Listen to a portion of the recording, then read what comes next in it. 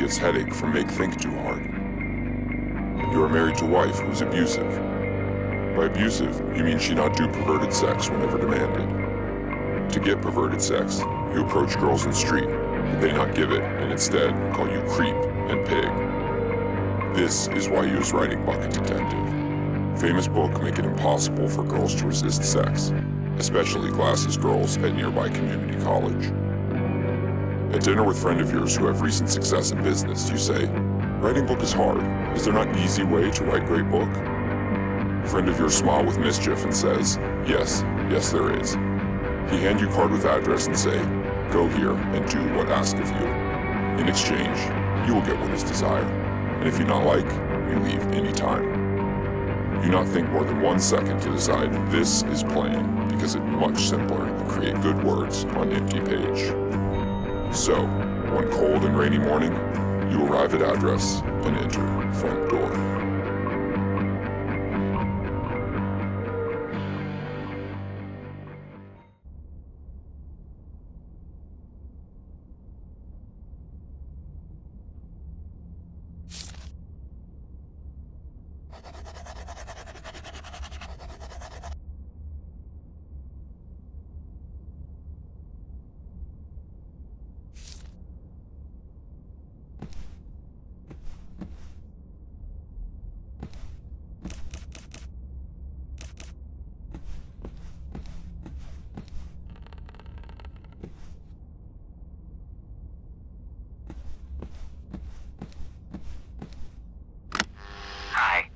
Name is Gwen Sleeveless. I'm a 23 year old white male, and I'm the building's maintenance man, cook, and I also clean the toilets. I thought it would be nice if once the Dark Lord is reborn to bring in 10,000 years of terror, if people could visit the place where it all began, kind of like a museum to the origin of their torment. So I've installed these boxes, which I call Gwen boxes, all over the building to explain the significance of different areas. Obviously, since the Dark Lord Mishriel, the seven-tongued slayer of kings, the roaster of the innocent, the defiler of the damned has yet to rise, these Gwen boxes are kind of a work in progress.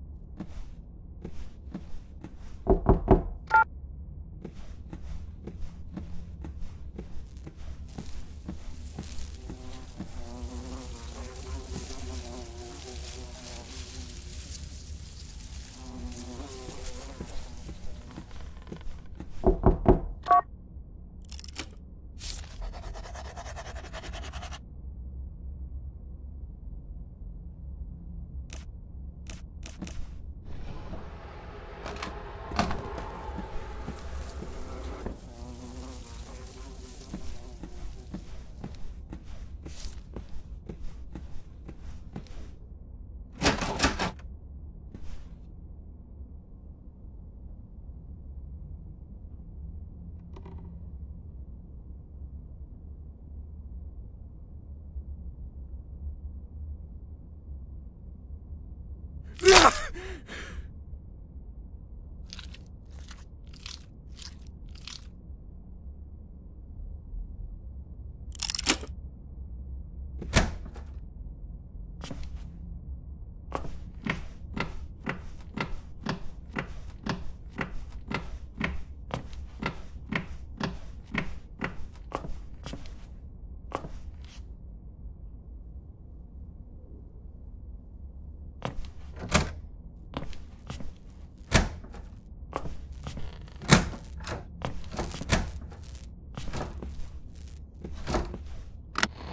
These are the offices of the two fathers, Dr. Z.W. Francis and Jedediah Holcomb, who were the founders and leaders of our happy little...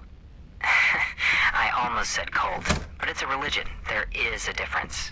The fathers believed that they were in fact one being that had been divided into two bodies for fear that if one being had so much knowledge, power, and sexual charisma, the universe would be torn into shreds. So to keep that great power separated, the fathers worked without ever meeting face to face or speaking aloud to one another. Instead, they communicated by passing letters through the mail slot between their offices. It was in this way that they laid down the laws of Mishriel, the god among gods, the Gimp in the graveyard, the pus of Xanadu. Dr. Z.W. Francis, known as the Scholar, was a mathematician, physicist, biologist, inventor, painter, and most importantly, a medical doctor specializing in the female reproductive system. He was the first physician to do a deep, deep, deep study of the female body, from a medical perspective, of course. And had the fools in the medical establishment not misinterpreted his work and taken away his license to practice medicine, the writings and tools he developed would be the cornerstone of modern gynecology. Jedediah Holcomb, known as the Mystic, was a hypnotist, psychologist, poet, meditation guru, and expert on world religions. His most significant work was the unification of all major religious texts to place the Dark Lord himself at the center. Yes, everyone from Jesus Christ to the Buddha were in fact pawns of Mishriel, the breather of bile, the decapitator of slaves, the withholder of orgasms.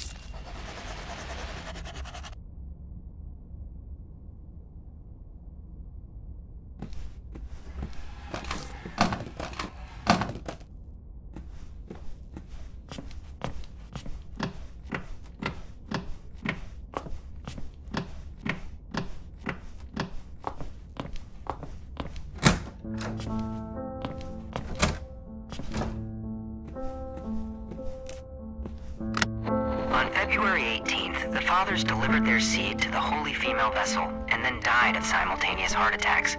Their bodies were cremated and their ashes preserved in urns while their souls were released into the building so that upon the Dark Lord's rebirth, they would be one with Mishriel, the putrid prince, the horn of Babel, the apple among the corn.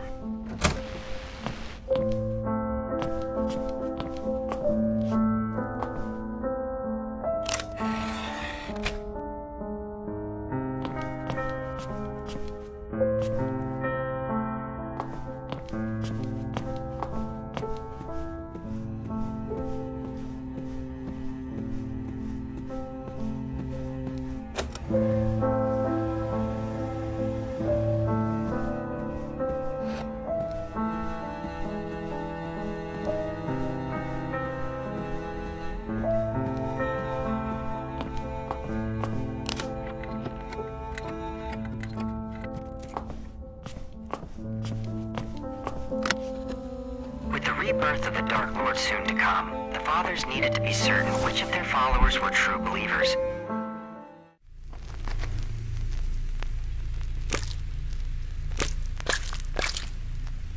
Good.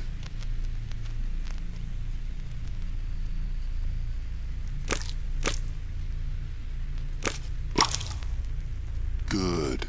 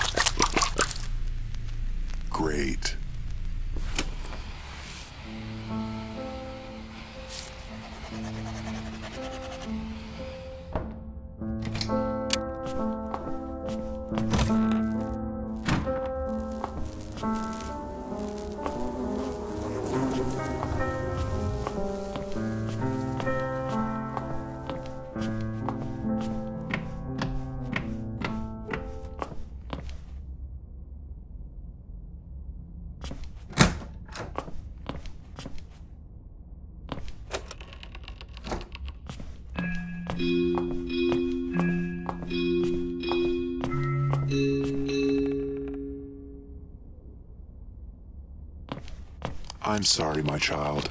Though your devotion has been great, you have shown yourself to be a fake. Deliver yourself to the cage at the far end of the room, but do not despair. Your death will be slow and painful, and your loved ones will soon forget you.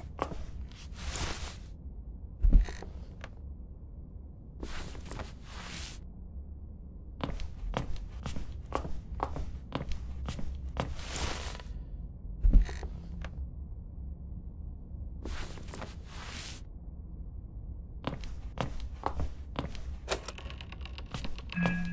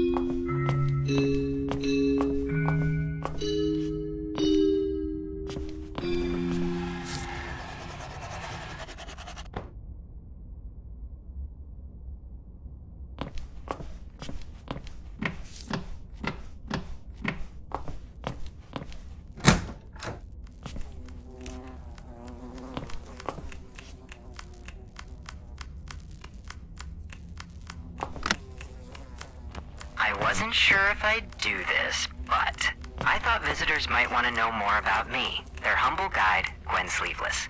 So let's see. My parents died when I was two. I was sexually abused by the man who ran my orphanage, and I used to burn my face with cigarettes to get attention. Pretty standard stuff. I was 14 when I ran away, and 18 when the fathers took me in and gave me this bed, which they graciously placed under a leaky pipe to strengthen my mental strength, which they said I had none of. When I'm not cleaning toilets, I write songs about the fathers, I draw pictures of the fathers, and I pray to the fathers. As you can tell, I'm a pretty lucky guy.